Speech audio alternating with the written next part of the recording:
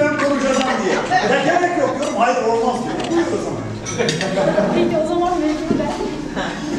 ben de kısa bir konuşma yapayım. Ee, şimdi bugün burada diğer telefonumuz çalıyor.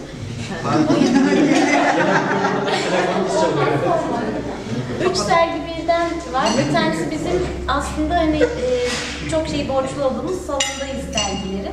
Bizim Hoca'nın sayesinde Paris'e gitmemiz, orayı görmemiz, ondan sonra ikinci yıl katılmamız, daha sonra bunların izlenim yorum olarak kendi izlenimlerimizi ve yorumlarımızı yani kendimizi ifade etme alanımızı açabildiğimiz doğrusu bir ortamı yaratan sergi olması anlamında salondayız öncelikle çok önemli. Arkadan izlenim yorum bir de onların üçüncü bir de üçüncü ayak olarak buluşma sergileri. Bu da genç sanatçıların galeri bulmak, kendilerini ifade edebilecekleri bir or- ortam bulmakta zorlandıkları bir ortam için çok önemli sergiler.